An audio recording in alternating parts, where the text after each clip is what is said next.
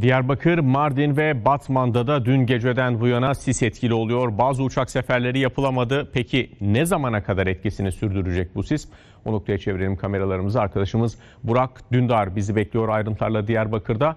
Burak aslında arkandaki görüntü son derece net bir şekilde anlatıyor. Muhtemelen bir 10 metre hemen arkandaki alanı bile görmemiz çok zor. Neler yaşanıyor ve ne zamana kadar etkili olması bekleniyor sisin? Ayrıntıları senden dinleyelim.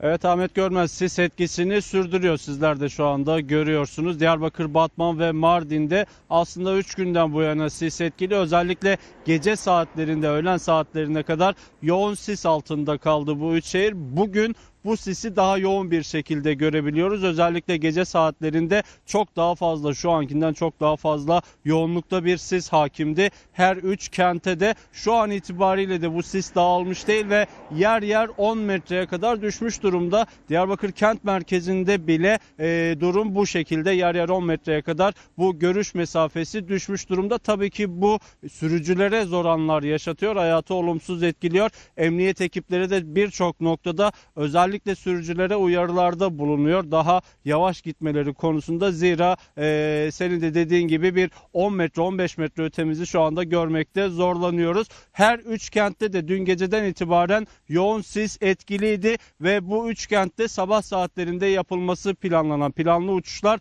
yapılamadı, ertelendi ve şu an itibariyle de o sis etkisini e, devam ettiriyor. Sadece sis değil sisin etkisiyle soğuk hava da hakim. Şu anda Diyarbakır'da 0 0 derece civarında sıcaklık.